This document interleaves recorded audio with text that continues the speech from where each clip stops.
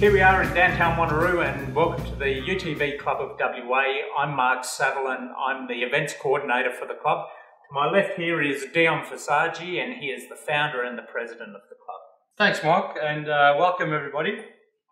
Um, tonight uh, we're going to basically talk about, about the UTV Club of WA. Yep. Also, Mark's got some exciting things to tell us about uh, the, what the club has in mind, and Yep. we'll get we'll get into that later on. So Dion, tell us uh, what does UTV stand for? Um, UTV stands for Utility Terrain Vehicle. Right. Well, why do we need a club for the UTV Club of WA? Why do we need it?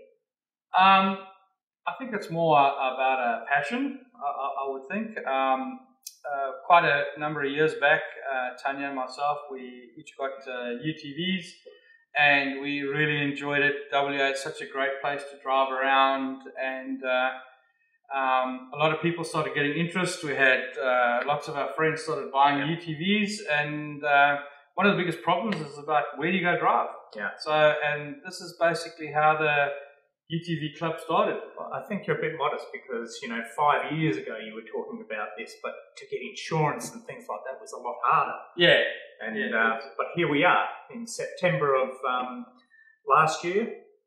that's right. We decided to actually kickstart a club. Yep. And uh, hit its straps till about March. yeah, March this year, we uh, basically got it all registered, licensed, insured. No, what are, what are these UTVs that are sitting behind us tonight? Um, this this uh, Polaris behind me is a, a Polaris 900 that's be, that has a full CAMS cage Yep. for um, cam spec racing cage. Same with my wife Tanya's. Yep. Safety comes first, as they say. With age comes a cage. Yeah. Yes, it's also a Polaris Razor. Yep. Same with uh, the one on the left. That's Jim's. Uh, Jim's actually Jim's Polaris is actually quite unique. It's uh, Jim is disabled, Yep. so his buggy has got hand So- controls Modified. modified for hand controls, and that's what makes it very cool for people that are disabled. Yeah. It's a, a cheap way to get into some uh, bit of uh, off-road playing or just uh, casual driving with all the nice areas we have in WA and uh, the outback. Um, so it's, it's it's a very diversified vehicle, I would suppose. You get UTVs for farmers. That's got tray backs, and you even get UTVs that pull uh, a lawnmower to cut lawns. And, and uh, now they're even more modern again. and now they've even made them for petrol heads For that want to race. And old people like us, where with age comes a cage. That's it. You know, after you've driven bikes and quads for uh, quite a number of number of years, and you get a bit older, um, what's the saying? With age comes a cage, and uh, that's basically where we are. Right. So, um, shall we get into this news? Yes, that's a good idea. Um, So, tell us about it. Well, first of all, um, we've been able to acquire some land for the UTV Club of WA. So this is really exciting news. And well, why don't you tell us about the first piece of land? We've got two pieces of land. So the first one, and and uh, briefly where your contact came from. Well, um, a couple of years back, uh, I was uh, helping guys. Well, one specific guy, a guy called Damo, up in uh, Darwin with parts. Yep. And I was always farming parts up to him. And he's got a brother, or a friend brother, I would say. Yep. Um, and their family has got a, a nice piece of land outside Brookton. Uh, 3,000 plus acres of land Fantastic. and um, uh, we went up there and had a look at it, and there's very good potential for us to actually have a bit of a home for the club. Um, we're basically going around the principles of leasing the land from them so that we can have a bit of a home for um, the club members, Yeah. meaning we can go there um, weekends during the week, uh, have a good drive. Um, uh, the whole idea is to set up enduros um, and just uh, socialize with other people with UTVs. Well, this of property is actually going to be able to cater for uh, the hardcores and the drive days And the disabled. and the disabled. That's so, the whole idea because we have three uh, disabled people in our club. Uh, Jim, who, who owns that, that buggy, he's on our committee. And I'm sure when a lot more disabled people see what uh, potential and uh, we have uh, in the club, I think there'll be many more. Well, the committee and all of us have got together, and we can see that we could have a first meeting there um, real soon. And we're thinking of having that meeting where anyone with a UTV, any type, uh, it'll be safety type unrestricted. So you can come with it if you've just got a lap sash. You can come and we're going to have a, a drive day over a weekend. Yep. Uh, where the owners are going to put a lamb on the spit. We'll probably stay the night. We can do a barbecue during the day. Yep. Um, And we're talking all different types of UTVs, from diesels There's no to- restriction. to, uh, Yep. So we envisage be a good 40, 50 UTVs come along to this. The, pla the property can cater for it. Yep. And um, the owners are just keen as mustard to have us there. And uh, they'll in fact go as far as um, modifying that property to do rock climbing, uh, long enduros, could be up to 20 kilometres per lap, could be even more actually, because with 3,000 acres, we can do a 30, 40 kilometer uh, lap depending on how we uh, uh, pace it out and how we route it up. Absolutely. And also depending on how many people we have to help us marshal, because if you cover a long distance like that, you actually need some people to support us. The beauty is this this probably had some roads that lead to Yeah, really that- every point. That's what's nice about the property. be It'll be all natural terrain. We wouldn't have to do uh, any real work to the property. It's um, the, the the times we went up there and had a drive around. Uh, there's such a diverse diversity of different terrain, Yep. even a river crossing yeah, for uh, to, make it quite fun. You know.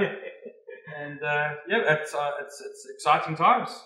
Yep. And uh, of course, if uh, there's some other good news for those real die-hard petrol heads that want to race, Mark's got some interesting news about uh, a full-blown racetrack. I do. So one of our committee members was on a work site who was just happened to be talking to another worker, and he said, "Oh, I've got some property down uh, down Pingelly Way. You can bring your UTVs down there." And so after asking a bit of questions, he's actually had some motorbikes on the property at some stage, and now he no longer has it. And the, the family only bought the property just to meet, you know, just to have fun. Just to have fun, yeah, mainly quads and bikes. Yep, and you know. so they have half a motocross track with this half of an enduro track out there. So it's 150 acres. Um, we envisage that we'll run a um, part motocross, part enduro, or we might just have an event where it's just a motocrossy type race, or we'll mix in motocross and enduro together, and we can make it a five kilometre or a short kilometre track.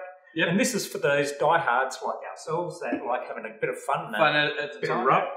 And it's got a speedway track on it. And we can use a speedway track for prologues. Yep. Uh, Oh, of course. Yep, good idea. And what's good about the track, uh, it, it, it can be four or five buggies wide. And look, it's So- all, all local to Perth. You know, it's not very far at all. Yeah, and, camp out for the weekend. We can have day drives. Uh, we can have weekend drives, long weekend And the good, the good thing about it is um, club members can go there even during the week. Yep. You're going to have a little pot where you can put your money in, Yep. look after the place. That's you, right. You know, Yep. take take your, your junk with you when you leave. These owners are And- so open for us to be there. It's that got a they've clubhouse. They've got clubhouses. They've even had a bar inside in the That's it. Yep, good Uh, they've got toilet facilities, um, shower facilities. Both of the properties have uh, food and accommodation with only five or ten minutes drive away. Yep. So if you don't like camping, you can stay there and come back. Um, but uh, great things. That was our most exciting news that we have for the UTV club. It was always about trying to get some land, and we've all the whole committee's been working tirelessly to do this. Yep. And uh, we've done it. So uh, we'll have some meetings coming up in the real near, near future, future with those two meetings. Please come and um, help our sponsors out by, if you're interested in buying UTV, go and see these guys. Check us out on utvwa.com. Yep. I'm Mark Saville, and this is Dion Visage. Until next time, we'll see you then. Great. Take one, sink. Take two. Club with WA's all about. Stop it. Because we can, we're going, one of my questions is, what does UTV stand for? Yeah, yeah, okay, so that's it. Which camera am I looking at, mate? Do I look in the middle or does it matter? Anyway, I'm Mark Saville and I'm the found, uh, founder. the beauty of. I don't know I was going with that. It's alright. Yep. Take five. Take four. Wasn't it take four? That was take five. Was it take Was four? it take five? Take five. Way, I'm Mark Saville and I'm the. Uh, Okay, go. Ready? One, two, three. Go.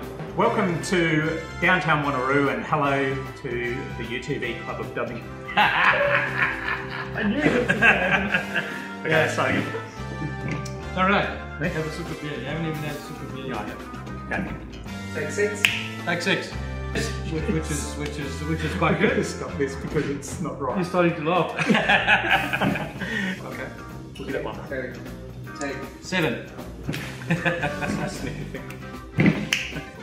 Sorry, I've got to cut again. We didn't talk about how there was this exciting news at the end. Ah, I thought we were going to get to that. No.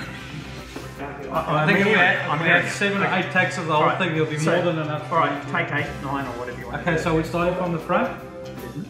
Take nine. And um, I think, See you soon. I think that's a wrap.